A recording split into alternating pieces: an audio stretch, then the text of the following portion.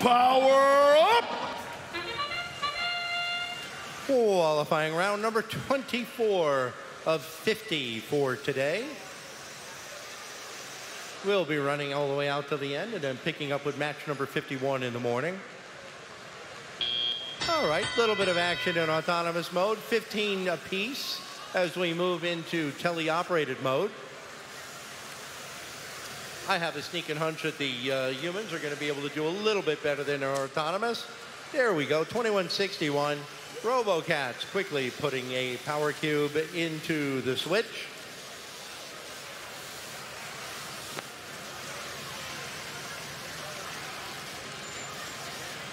Eighteen oh three, Vikings deep into the Blue Alliance territory, looking to try to take control of their switch to steal the switch away from the blue as they do. Nicely done by the Vikings.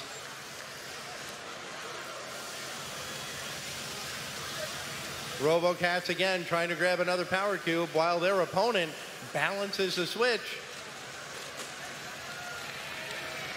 Nice work by Ward Melville. Iron Patriots taking control of the scale for the blue.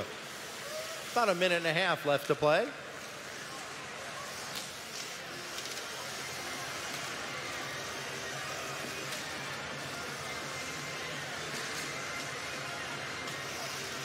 RoboCats again, looking, looks like they're going to try to deliver that power cube into the human player station.